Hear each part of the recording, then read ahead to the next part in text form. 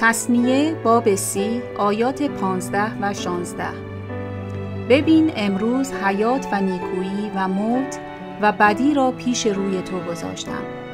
چون که من امروز تو را امر میفرمایم که یهوه خدای خود را دوست بداری و در طریقهای او رفتار نمایی و اوامر و فرایز و احکام او را نگاه داری تا زنده مانده افزوده شوی. و تا یهوه خدایت تو را در زمینی که برای تصرفش به آن داخل می شوی برکت دهد.